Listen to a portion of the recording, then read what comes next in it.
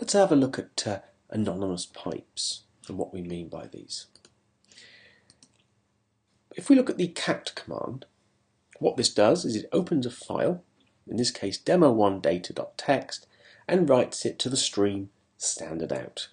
Now by default, the stream goes is always directed to the terminal shell.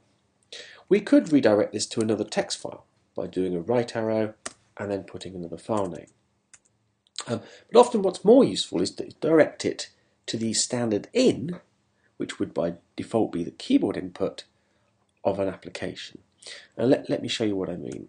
If we look at the application sort, I type minus n for numerical, it's now blocking on the keyboard. So I can type some numbers in, and then when I press Control D, the end of file, the application sorts the data and writes it to standard out. So sort simply accepts data from standard in, sorts it, and writes it to standard out. So let's go back to my demo data here. So we've got some numbers already typed into this text file, and I'm going to use the pipe. And then I'm going to type sort minus n, and that's it.